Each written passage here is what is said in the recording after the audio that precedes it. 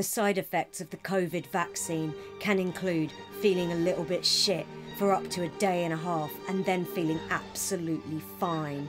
I had the COVID vaccine and I felt a bit tired and had a dry throat. Then I was fine.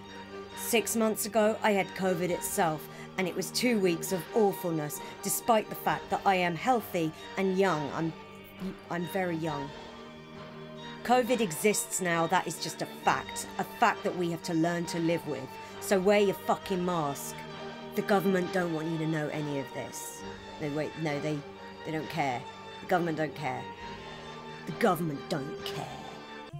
Ah, Freedom Day. Just wear your mask. It's not that bad.